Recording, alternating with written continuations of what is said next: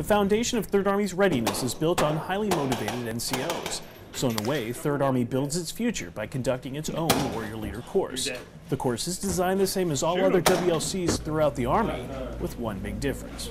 We have instructors from all different academies. We have them from all three uh, components. We've got from active, National Guard, and reserve.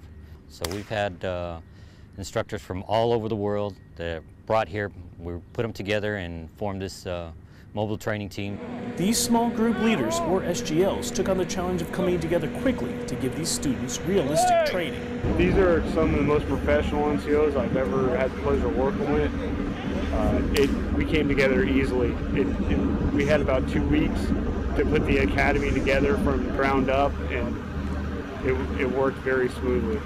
The students say they appreciate the SGL's guidance. They, they set the example. Uh, they show us what right is.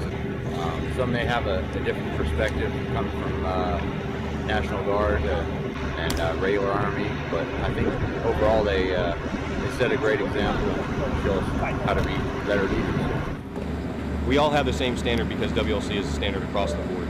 Uh, coming from my academy at Fort Sill, Oklahoma, coming here, I think definitely I've learned from the other SGLs that just their method to accomplishing our task and they've got some great tricks of the trade.